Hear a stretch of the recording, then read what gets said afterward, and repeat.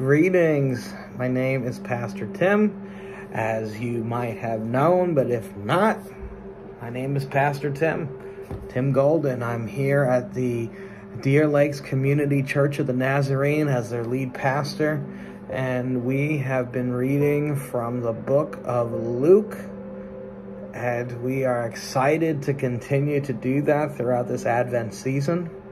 So let's read the word of the Lord together. We're going to be in Luke chapter 13 today, as it is the 13th day of December. Father, bless us as we read of your word. May we be instruments of your grace and your hope and your love and your joy. It's in your name that we pray. Amen.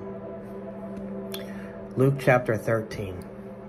About this time, Jesus was informed that Pilate had murdered some people from Galilee as they were offering sacrifices at the temple.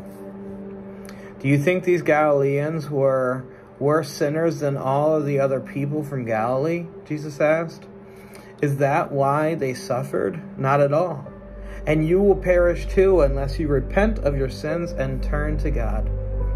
And what about the 18 people who died when the Tower of Siloam fell on them? Were they worse sinners in Jerusalem? No. I tell you again that unless you repent, you will perish too. Then Jesus told this story A man planted a fig tree in his garden and came again and again to see if there was any fruit on it but he was always disappointed. Finally, he said to his gardener, I've waited for three years, and there hasn't been a single fig. Cut it down. It's just taking up space in the garden.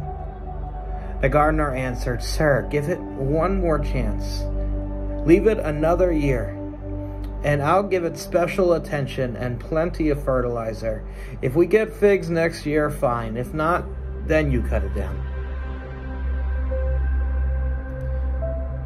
One Sabbath day, as Jesus was teaching in the synagogue, he saw a woman who had been crippled by an evil spirit. She had been bent doubled for 18 years and was unable to stand up straight. When Jesus saw her, she called her over and said, Dear woman, you are healed of your sickness. Then he touched her, and instantly she could stand up straight. How she praised God. But the leader in charge of the synagogue was indignant that Jesus had healed her on the Sabbath day. There are six days of the week for working, he said to the crowd. Come on those days to be healed, not on the Sabbath. But the Lord replied, You hypocrites! Each of you works on the Sabbath day. Don't you untie your ox or your donkey from its stall on the Sabbath and lead it out for water? This dear woman, a daughter of Abraham, has been held in bondage by Satan for 18 years. Isn't it right that she be released on the Sabbath? This, shame, this shamed his enemies. But all the people rejoiced at the wonderful things he had did. Then Jesus said this What is the kingdom of God like? How can I illustrate it?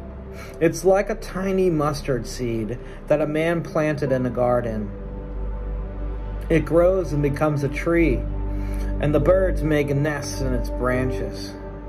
He also asked, What else is the kingdom of God like?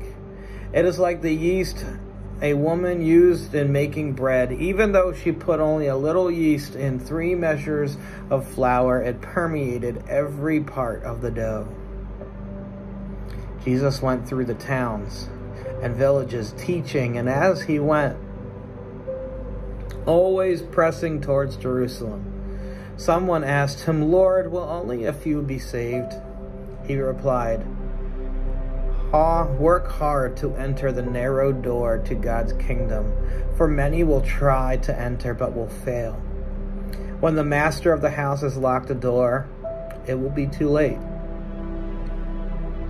You will stand outside knocking and pleading, Lord, open the door for us. But he will reply, I don't know you or where you've come from. Then you will say, But we ate and drank with you, and you taught in our streets. And he will reply, I tell you, I don't know you or where you're from. Get away from me and all the evil that you do. There will be weeping and gnashing of teeth. For you will see Abraham and Isaac and Jacob and all the prophets in the kingdom of God, but you will be thrown out. And people will come from all over the world, from the east and west, from the north and the south, and take their places in the kingdom of God. And note this some who seem least important will now be the greatest then. And some who are the greatest will be the least of importance then. At that time, some Pharisees said to him, Get away from here if you want to live. Herod wants to kill you. Jesus replied, Go tell that fox that I will keep on casting out demons and healing people today and tomorrow, and the third day I will accomplish my purpose. Yes, today, tomorrow, and the next day I must proceed on my way, for it wouldn't do for a prophet of God to be killed except in Jerusalem. O Jerusalem, Jerusalem, the city that kills the prophets and stones God's messengers.